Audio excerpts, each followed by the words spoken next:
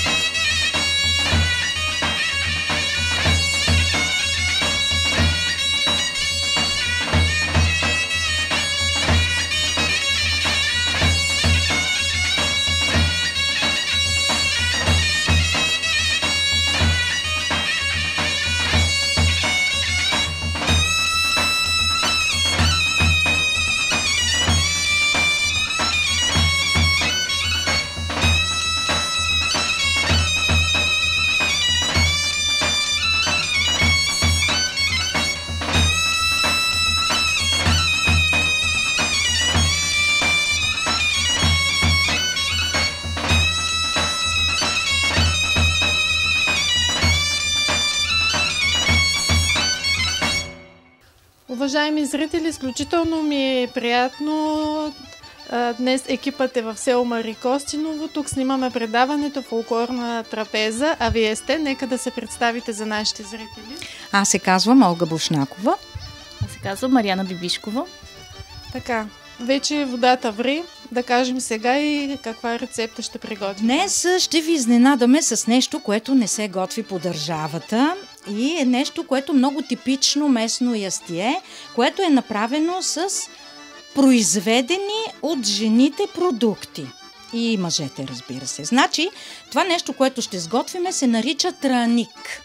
Траник? Да. То се готви от домашно направена ювка и от домашно направено трано. Траното представлява един домашно произведен кускус. То се прави по специален начин. Да, ще ми кажа. кажа. Но сега, в вряща вода поставяме водата е с леко посолена. Поставяме малко кори. То зависи колко искаме да направиме количество. Да се сварат. Домашна ювка. Домашна ювка и домашно направен кускус, който ние го наричаме трано. И от тук наименованието на ястие. И от тук наименованието на цялото ястие. Едно време а, бабите го правеха с голямо удоволствие това, когато посрещаха челядта, понеже една голяма тепсия е напълно достатъчна да се нахрани голяма челяд. Ще направим траник с пръшки. Оставяме това да ври, за да се свари ювката, а ние през това време ще нарежеме на ситно малко парченце домашна сланинка. Това е а, вид основно ястие, доколкото. Да, да, основно ястие, основно. А между другото, едно време много-много не са имали десерти, захар не са употребявали, а не са имали време да готвят първо, второ и трето, така че по едно ястие, което обаче е било достатъчно засищащо, за да се даде възможност на хората, които работят на полето, да се заситат и да получат сили. Това е едно от такивата ястия, защото то съдържа достатъчно много мазнини, знаеме, че те дават енергията, и достатъчно много а, въглехидрат, и то домашно приготвен въглехидрат, който също е много голям енергиен носител. Доста засищащо. Няколко думи да кажете за селото, за родното си село Мари Костиново. Да уточним за зрителите, че то се намира съвсем близо до Петрич. Какво друго може да кажете за него? Защо, на, защо се казва Мари Костиново? Има легенда, даже две, но аз ще ви кажа една от тях. Дълго време ние сме били под турско робство. А, даже ще ви кажа, че Петричка община се е освободила от турско робство най-късно от цялата държава през 1912 година. А, едно от нашите момичета, местно живеещо момиче, е било много красиво. Местният ага е решил да си я вземе в харема, но тя категорично не се е съгласила и а, отказвала е категорично, включително се е стигнало до там, че, нали знаете, ако не е моя, няма да е ничия, убиват я. Тази мума казвала се е Мария, Мара по-старому и тази Мара а, си я изхвърлили в полето. Съседното село се нарича Марино поле.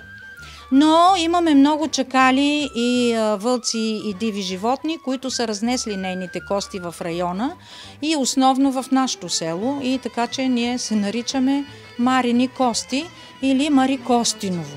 Това е легендата. Всъщност селото датира от а, 17 век за пръв път е споменато в турските фермани, като местна, в местната каза но в момент, при последното преброяване, около 900 души живеят в селото и нашето село не подмина тази страхотна лоша тенденция младите да заминават по чужбина, но 900 души са 900 души, доста живо е селото, имаме училище с 100 деца, имаме читалище. И имаме читалище, ние сме много горди представители на това читалище. И хубав танцов състав. Имаме танцов състав, да го подчертая, който е доста активен, участва в много фестивали, пътува насам натам, весели хората и себе си най-вече. Имаме и мъжка певческа група, която също нашите мъже доста добре се представят и те. Пеят местни народни песни, които наистина много добре се представят. Имаме и детска градина, все още пълна, с доста дечица малки, така че ние сме щастливи. Живеем в едно живо, все още село. Така, започнаха да омекват продуктите. Да, започнаха да омекват. Аз малко ще ви върна назад. Обещахте да разкажете как се приготвя домашна ювка и как кускус. Ако може сега. Така, сега ще ви кажа, тези продукти, които се къкрат тук в нашето тенджере, са домашно приготвени. Едно време жените се събираха съседки, приятелки по 3-4-5 да точат кори. Има ли особена дума на, тези, на това събиране? Не. Как сте го наричали? Събираха се да точат кори. Съседките, приятелките, носиха си, всяка си носеше трапезата. Това е една голяма дървена маса която се носи под ръка, сядат на земята и върху трапезата се точеха тези кори. Децата щъкат насам натам и всяко дете взима а, точилката с източената вече кора и отива на градината, където, е посла, където са послани бели чершафи, корите се простират на тези бели чаршафи. Местното много силно слънце изпича тези кори до следобяда и стопанката след обяда ги прибира корите в една теникия за зимата. Чувала съм, че децата са имали задачата да пазят И от мухи, от мухи Да, тези кори, докато изсъхнат. А, много забавни детски времена, но и сега горе-долу такава, а, такава е организацията. Вие, например, умеете ли да правите домашна? Да, да. Умея даже тези продукти, траното и корите са от мене. С а, моите съседки бабите сме правили кори миналото лято, а траното с а, моите деца. Традицията е жива. Понеже траното се прави по един много забавен начин. По-трудно ли от ювката? Не, и траното и корите се правят от един, от богато тесто. Имат яйца, имат мляко. За разлика от ювката ли? А, моля? Ювката? И- Има? И Да, да. А, и траното, когато е буца тесто, преминава през едно специално сито, донесли сме да ви покажем. Това сито има много забавното име драмон. Е, така се търка. Търка се и отдолу пада а, Пада, това е с по-едри дупчици и след това има друго сито, драмон, което е с по-ситни, за да може да стане е това и крайния едро, продукт. като кускус, само че домашно направен. Много е вкусно. А, така да видим докъде сме сварили. По кое време на годината правите? Тези неща се правят през лятото, когато слънцето е най-силно, за да може да а, се то суши. също съхне. съхне, да. А, след като а, мине през а, а, ситата, а, пак се простира на бял чаршав ма, отвън и от време на време се разбърква, за да може да се изсуши по-бързо. И се И, пази от децата.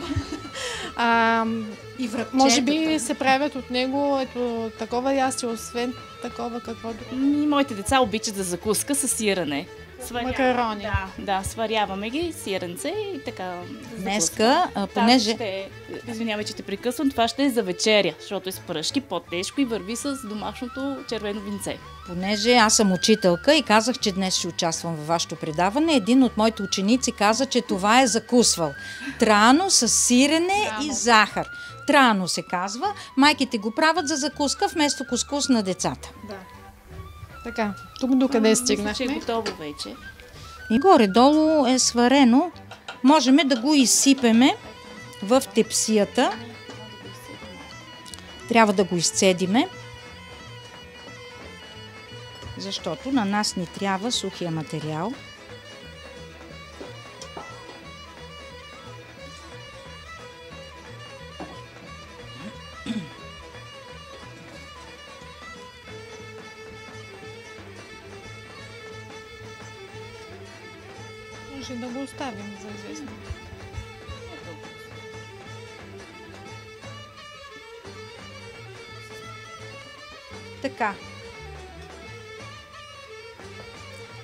Сега става най-интересно.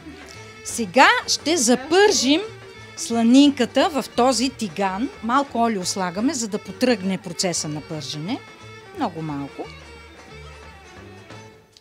Ще запържим сланинката, като идеята е да получим едни хрупкави пръшки с мазнинка по тях.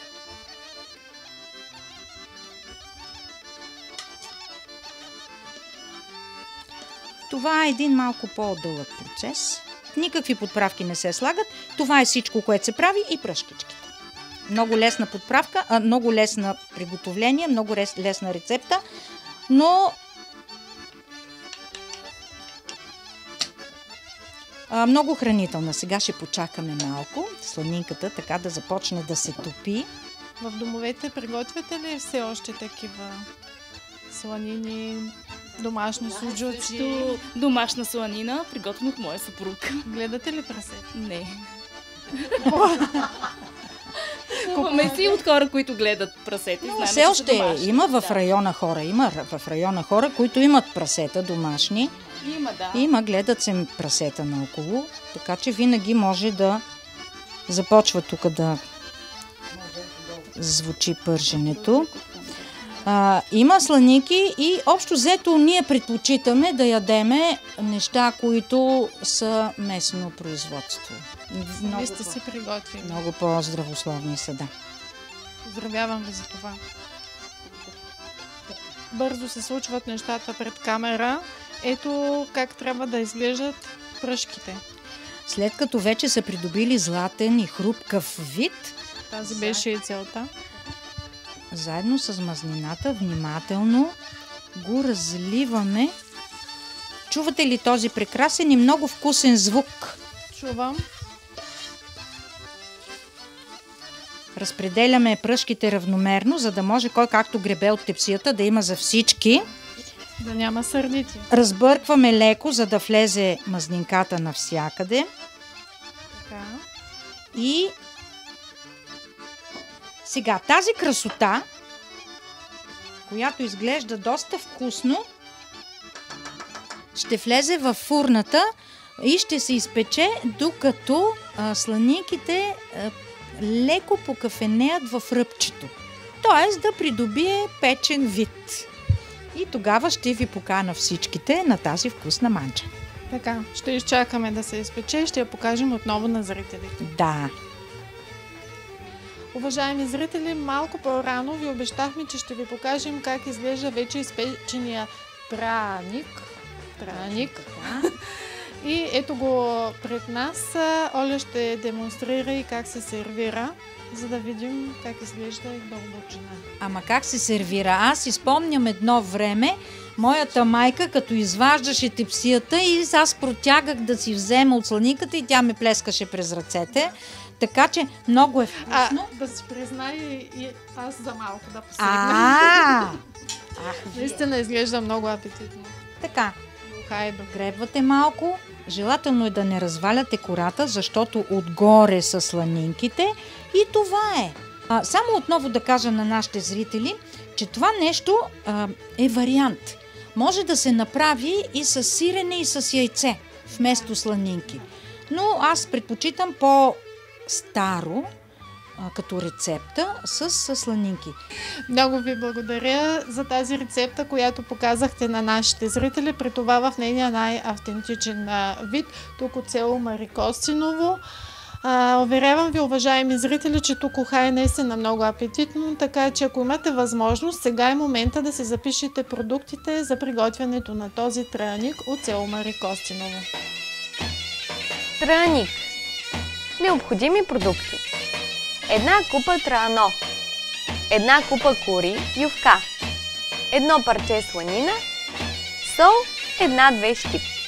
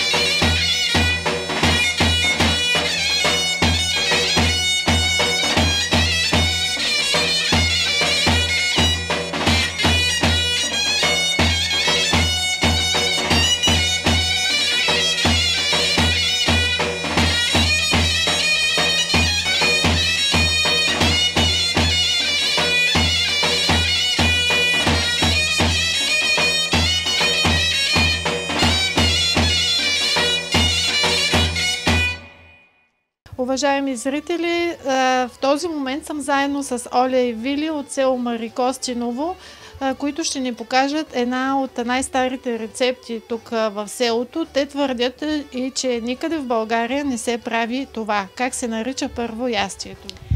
А, наистина това е вярно. Никъде аз съм обикаляла много из държавата, не се яде тази супа да я наречеме.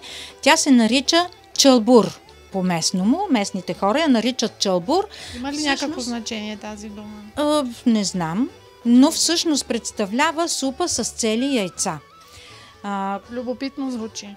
Така, сега, бързо се прави, много е хранителна. Обикновено майките бързо, понеже са заети, бързо правят за децата. Децата много го обичат това нещо. Горещо препоръчвам на нашите зрители да си запишат рецептата и да си я правят на техните деца. Ще бъдат много доволни от. Добре, следете внимателно технологията. А като гледам продуктите, може да кажем, че чорбата е все, все сезонна, защото Абсолютно. няма нещо, което да липсва в Точно така. сезон. И, и няма и конкретна рецепта, ще кажа приблизително, защото зависи колко души ще ядат. Но горе-долу трябва да се съобразите, че отиват по две яйца на едно блюдо за човек. Тоест, ако ядат а, трима души, 6 яйца. Ако ще остане и за вечера, а, 12 яйца. Това е стара рецепта в днешно време правите? Ами не, аз лично отдавна не съм я правила, Но сте я правили. но съм я правила. Моята майка я правише на времето. Като деца сме я яли. Може би за по-бързо да го приготви след работа за вечеря. И така. Какво трябва да се случи сега? Така, сега. Слагаме в тенджера вода да заври и, и я застройваме с достатъчно количество сол. Така.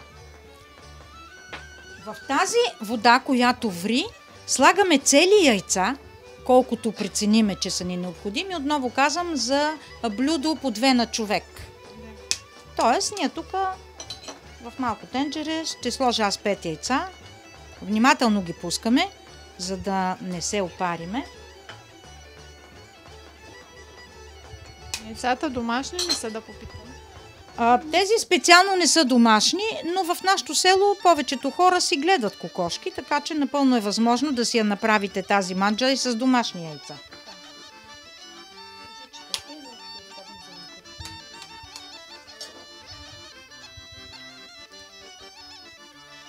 Внимателно пускаме яйцето, за да не се опариме. Водата ври.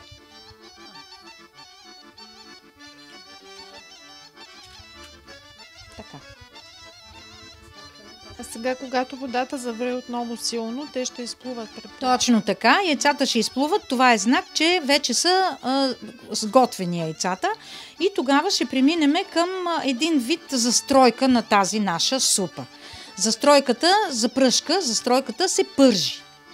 С, а, може да се направи с масълце, може да се направи и с олио, както решат домакините.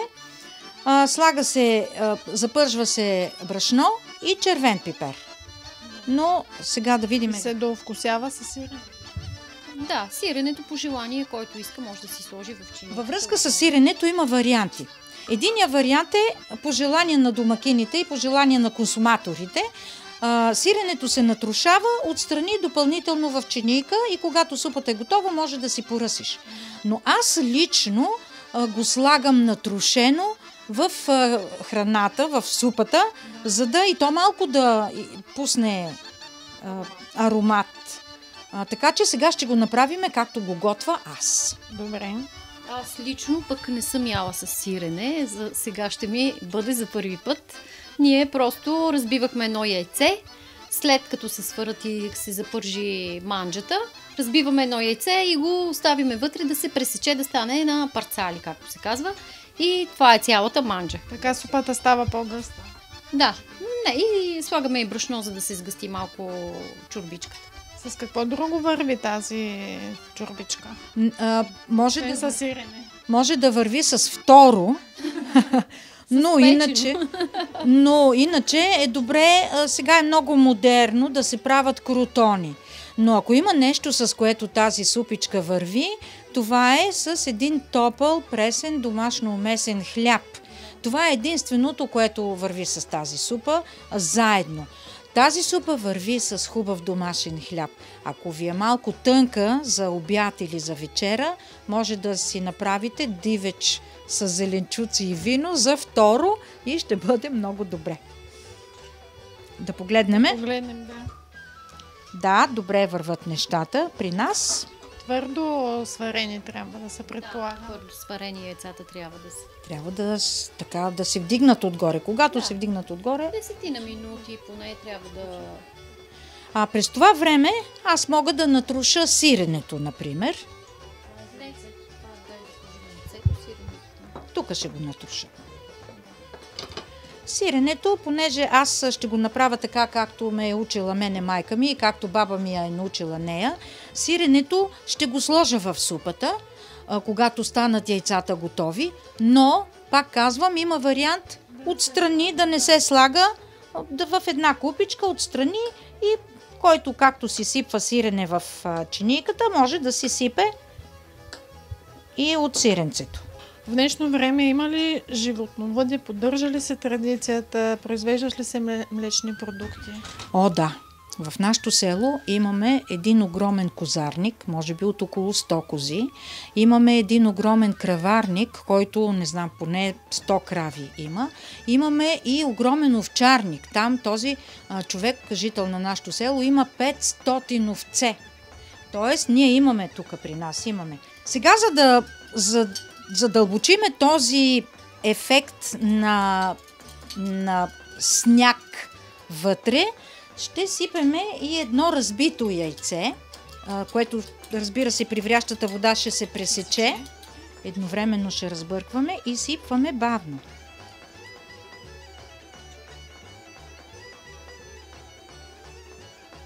Страхотно. Промени се вида. Да.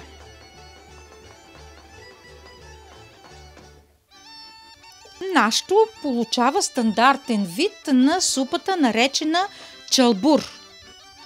Сега ще сипеме и а, сиренето тук. Ще го оставиме малко да поври, внимателно. А, бавно сипваме. Внимаваме все пак, водата ври, за да не се опарим. Така. Отново разбърквам. разбъркваме. Заради технологията е добре да изчакаме да заври малко, за да се обединят вкусовете. По-бързо ще стане, ако сложиме капака. И предстои да направиме запръшката. За запръшката а, са ни необходими една лъжица червен пипер и за... Значи майсторките трябва да преценят големината на съда.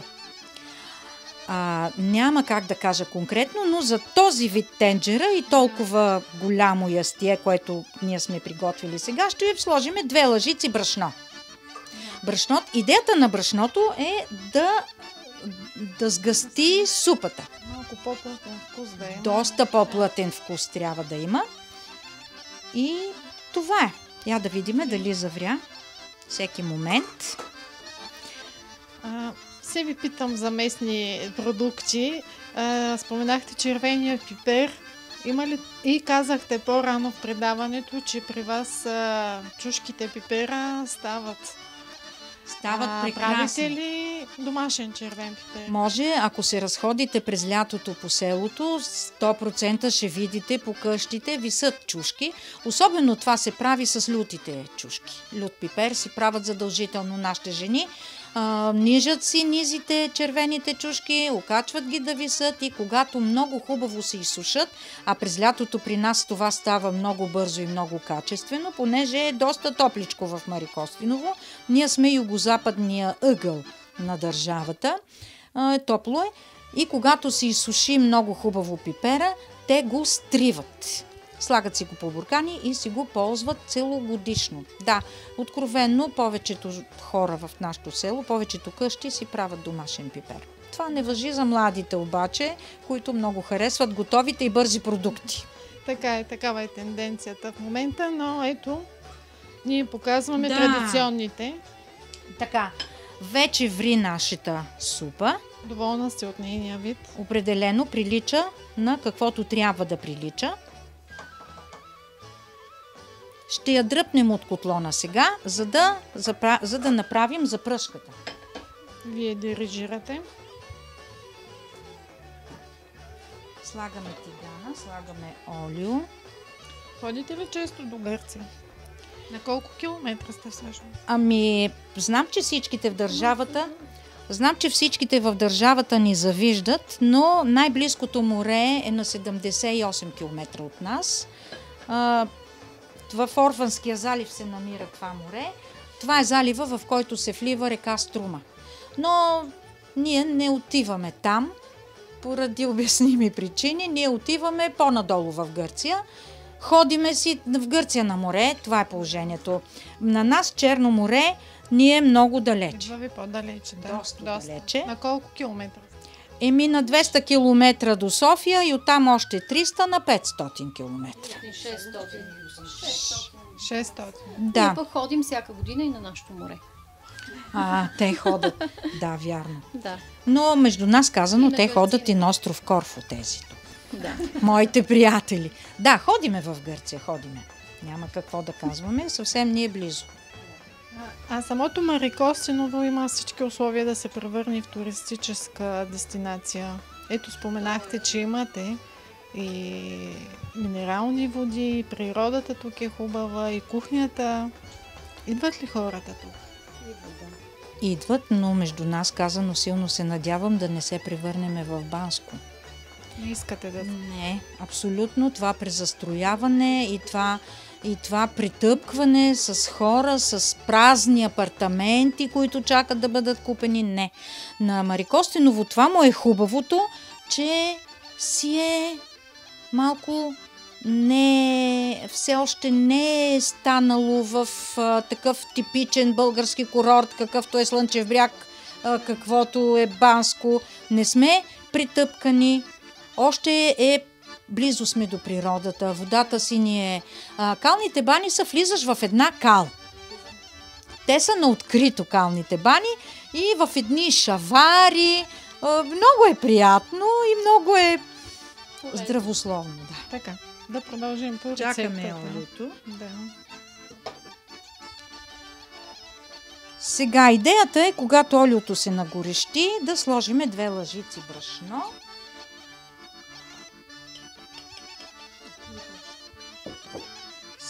Да преместа от към мен. По-скоро с дървената лъжица. Така. Както се прави нормална запръшка, стандартна, като се опитваме да избегнем образуването на топчета в запръшката. Тези грудки остават в супата и развалят вида й. Брашното се запържва, докато придобие прекрасен златист и вкусен цвят.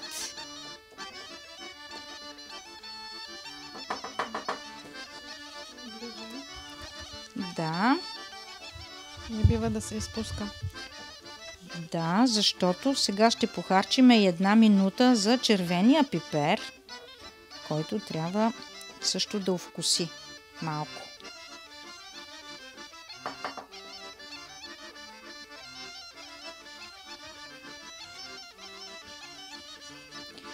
Ами, викам стига толкова.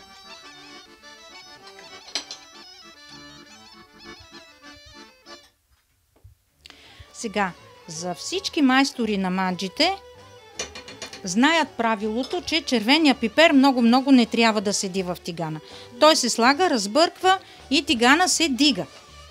Защото не трябва да се да пригаря червения пипер, иначе горчи. И сега, това искам непременно да го видите. Изсипваме изсипваме и се получава един, внимавайте когато изсипвате, един вулкан.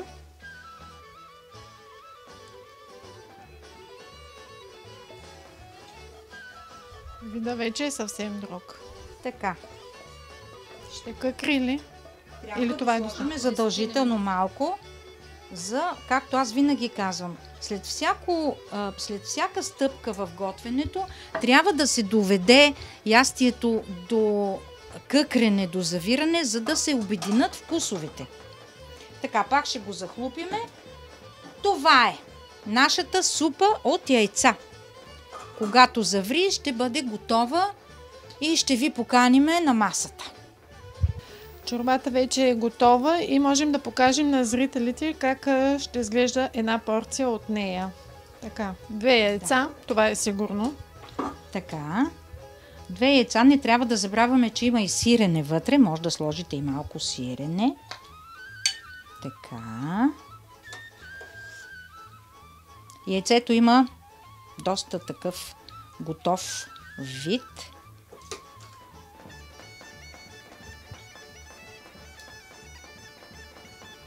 Това е. Уха е наистина добре. Не се Направете добавят си- някакви подправки. Опитвайте нищо. Единствено, ако с солта вкусовете са различни на всички, може леко да се посоли, но а, когато слагаме сирене, трябва да внимаваме с посолването. Така. Така изглежда а, нашия марикостински чалбур супа от яйца. Благодаря ви за тази рецепта, която показахте на нашите зрители, на теб, Оля, на теб, Вили. А вие, скъпи приятели, имайте готовност да си запишете продуктите за тази уникална чорба от село Марикостиново. Чалбур. Супа с цели яйца. Необходими продукти. По две яйца за порция. Едно разбито яйце. За пържената застройка. Две супени лъжици брашно. Една чайна лъжица червен пипер. 100-150 грама сирене. Сол на вкус. Олио 4-5 супени лъжици.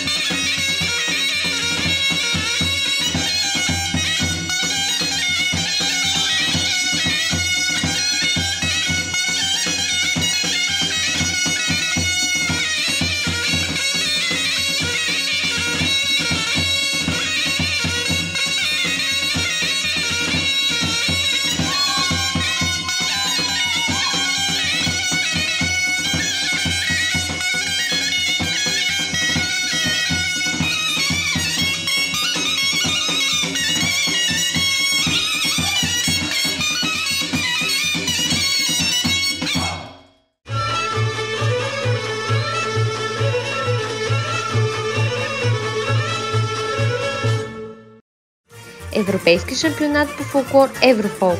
Шампионатът на Стария континент. 16-то издание на фолклорния форум ще се проведе от 26 до 30 юни 2024 година в Незебър, Поморие, Свети Влас, курортен комплекс Слънчев бряг. Заповядайте в едни от най-красивите селища на българското Черноморие и покажете майсторство на сцената. Спечелете високи отличия и телевизионна слава. Нека заедно да съхраним фолклорното изкуство и изградим приятелства за един по-добър свят.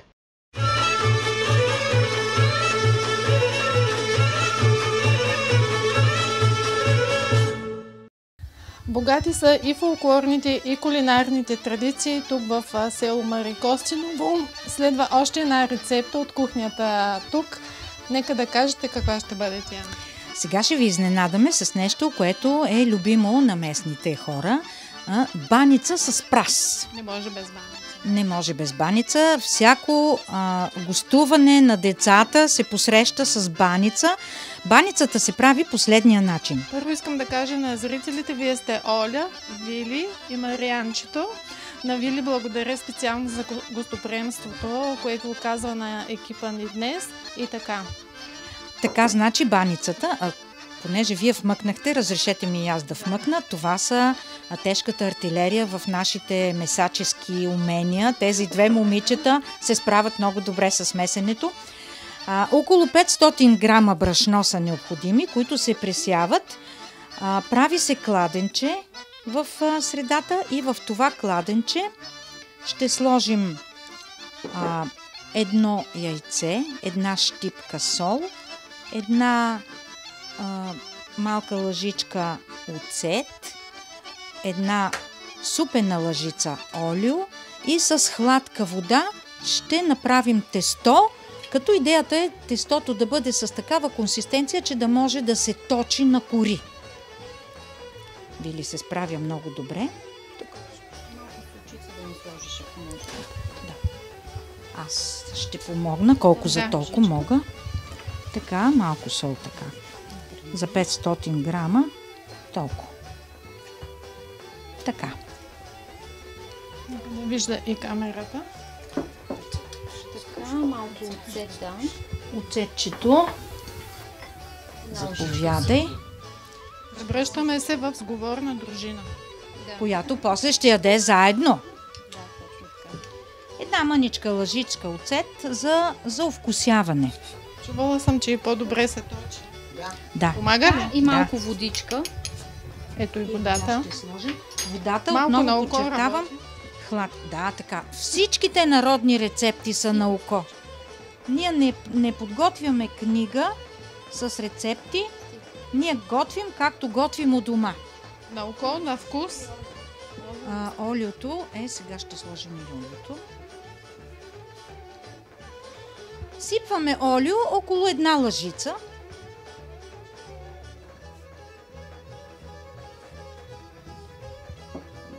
И нашата приятелка Вили ще покаже уменията си като месач. Всички не я гледаме. Да.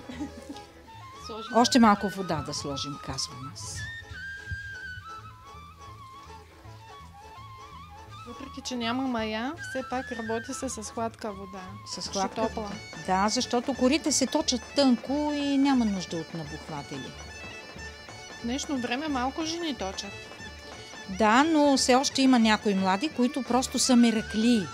И на тях им доставя удоволствие тази работа с ръце, да създават храната с ръце. Има такива хора, на които аз искрено се възхищавам. Една такава жена е моята приятелка Мариана, която обича да точи и която може да точи. Така, а плънката, както виждам, ще е от прас. А, така, това ще бъде баница с прас. Праза измит, а, приготвен, се нарязва на ситно и се запържва. И нашето село е много интересно в географски аспект. Тук над селото има една интересна местност, наречена Бандерата. Това е един връх, от който се виждат седем планини. Мари Костиново, Рупите, Сандански, Капатово, Кромидово, тези местни села. Ние се намираме на дъното на вулкан, бивш. И поради тази причина имаме и толкова минерални извори в района. Значи минералната вода в село Марикостиново, минералната вода в Рупите, между другото Рупите е на 5 км Да, от да. нас по въздуха, минералната вода в село Кромидово и минералната вода в Сандански, и тук едни съседи наши, гръцкото село Сенгелево, те, те си го наричат Ангистру, българите го наричат Сенгелево, е с един химически състав. Просто това е една минерална жила, която бълбука излиза на повърхността в нашия район. Нашия район е известен не само с това, че вкусно си похапваме, а и с това, че имаме минерални води. Които са лековити. Много лековиди, много лековити. В Марикостиново специално идват хора от, ама наистина от цял свят съм виждала. Много интересно е, че само нашата вода е казано, че лекува псориазис. Това е много интересно. Да, но а, иначе основното, за което идват, е при заболявания на опорно-двигателния а, апарат. Тук докъде стигнахме? Тестото вече е готово. Сега Може ли да пипна? може. Малко е твърдо. Да, трябва да е малко по-твърдо за точене на баница. Сега го завиваме с една кърпа и го оставяме да почине около 20-30 минути. Ето така. В това време какво можем да свършим? Така, през това време, както забелязвате, ние не оставаме така само да си пиеме кафето И да приказвам. и да приказваме. А, моята приятелка Мариана е нарязала а, праза, както виждате, на много ситно. И този праз сега, докато тестото почива, ще го изпържиме в мазнина с много малко случица и това ще бъде плънката. Праза е готов и го слагаме на котлона, за да го запържим, но преди да го запържим, ще сипем малко олио малко сол. Ще го смачкаме.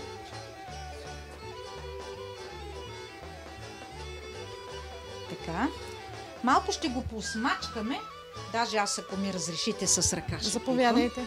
Малко ще го посмачкаме, за да се овкуси самия прас. Така. Може, за да стане по-бързо този процес, може да сипеме и малко вода. Много малко. Много малко. Ето така, само за да стане по-бързо овкусяването на пръза. Ами аз разрешете ми с ръката, защото както готви моята майка, така и аз.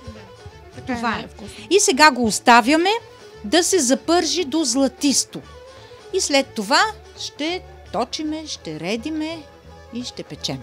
Разбрахте, уважаеми зрители, необходимо е технологично време, за да се подготви и плънката на тази баница. След малко ще видим и как точат тук жените в село Мари Костино. Така, пращето вече има доста хубав сготвен вид. Ароматно.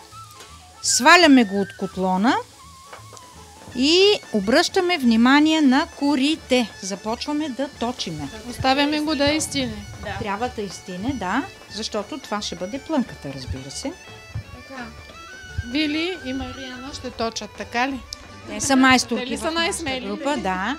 Колко кори ще излязат горе-долу? Четири кори ще излязат по-големи от това тесто. Това вече е по-мекнало още. Изваждаме го. Разряза го на 4. Правим ги първо на кръгчета. Ето така. Много се премесва.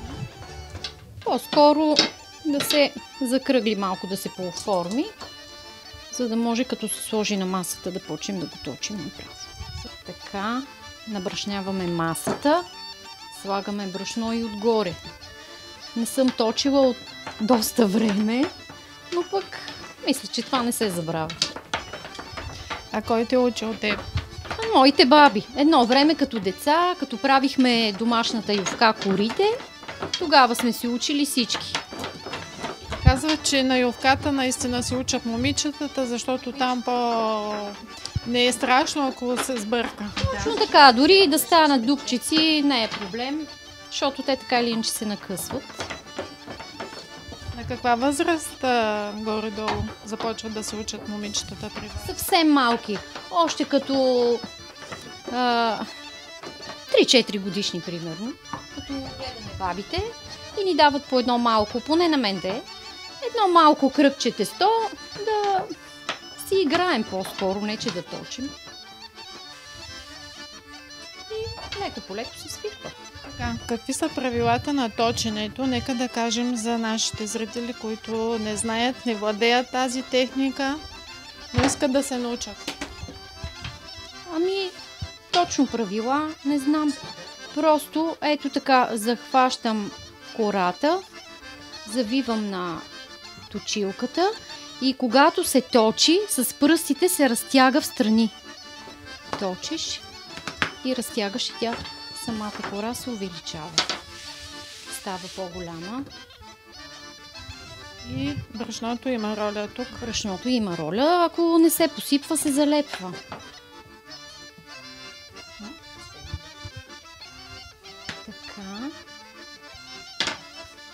Не е задължително да е равномерно отстрани. Може би бабите, по-специалистките, ще направят по-правилно, по-правилно кръгче, но пък това няма никакво значение всъщност. За вкуса на баница. Точно. Колко тънка трябва да е кората за такава баница? Ще ги станявате ли много? Не знам точно за милиметри, не знам, но пък на око. Много. И тук Макиня си преценява. Да, по-тънки По кори. принцип са по-дебели, тези домашни. Домашните кори са малко по-дебели. На мен лично с по-дебели кори са ми по-вкусни. Не знам защо. Въпрос на вкус. Стига толкова. Да. сега Мисля, че е горе-долу. И достатъчно тънка кора. Перфектно. Следва плънката. Предполагам. Да. Табличка. Може и с хартия за печене, може и без. Слагаме малко олио. О. Така. Пръза не е ли достатъчно? Слагаме така една лъжичка олио на кората. И вече посипваме от плънката. Горе-долу. По принцип посипвам с ръка, но сега Когато има камери, по-трудно ли? не. Така. И сега завиваме. Ще я завия с ръка, защото да не цапаме точилката с прас, че ще точим още. Понякога а, баниците се изпичат първо корите. На бабите и- са имали едно време едни черни печки. А, и а, като е готова кората, а, кората се поставя върху печката и се обръща от двете страни и тя става запечена и много вкусна. Но сега ние вече нямаме такива печки. Така че си ги ядем Ще бъде вита бани. Вита баница, да. Така, сега имаме още по една кора. Да точиме. Редът е същия. Слагаме и започваме. Всички си имаме различни начини за започване. Хайде, Оля, да държи микрофона, аз да опитам да точа. А, ли? Това е смело! Браво! Доста смело, да. да. Така, с, целия, с цялата длан, с всичките пръсти, не само с двата. Така. Така, точно така. И не се страхувай, няма да го нараниш. Натискай малко а, повече. Така обръщаш. Малко сила. Да, натисни малко, няма да го заболи. А, така, търкаляйте точилката бавно с цялата длан.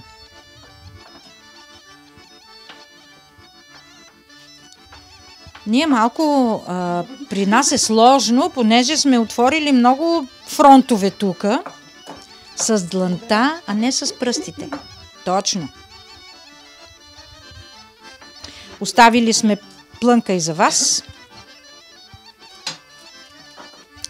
Какво ще кажеш, Вили? Стига толкова, се е мъчило момичето. Да, перфектно. Ето, супер! Ето сега имате честа да сложите плънката. Съберете всичко. Да.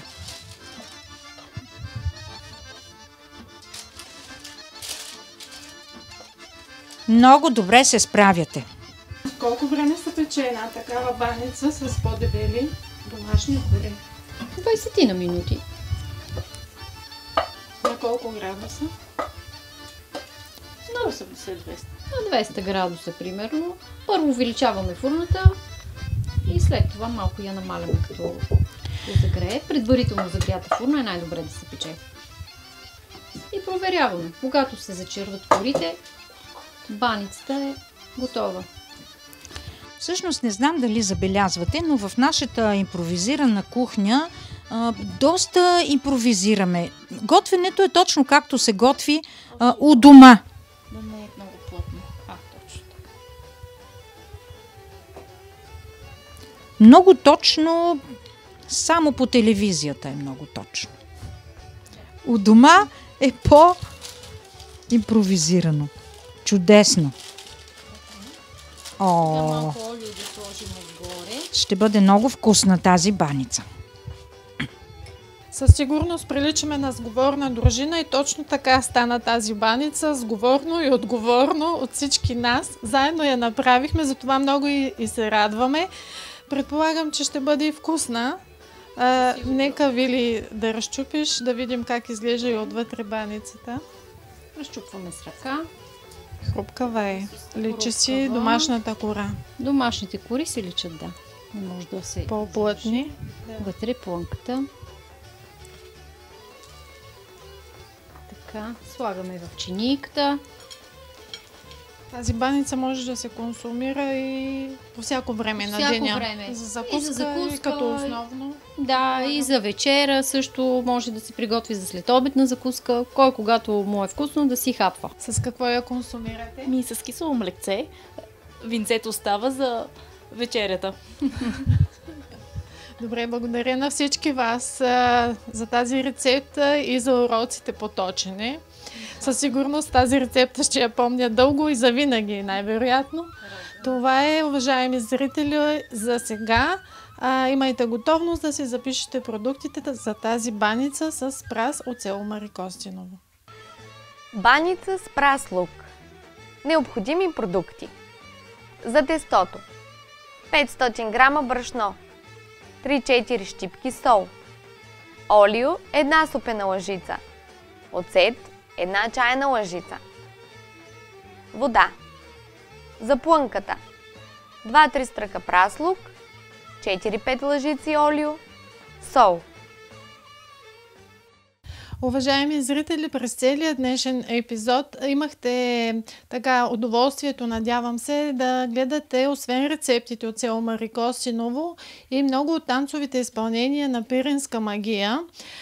А, ето, както казахме и по-рано в а, предаването, това са част от представителките на този танцов а, състав. А, той ви свързва, както разбрах, както и читалищната дейност.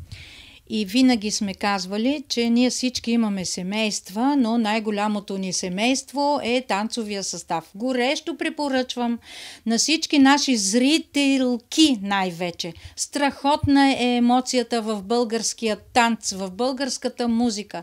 Записвайте се по тези клубове, учете народни хора. Много е хубаво. Поздравление на ръководителя Валери Жганев, който имам удоволствието лично да познавам. Той сега няма възможност да бъде тук, но а, заслужава нашите адмирации за това, което постига с а, вас. Автентични хора от а, този край на България. Да, да, да. Може да допълните.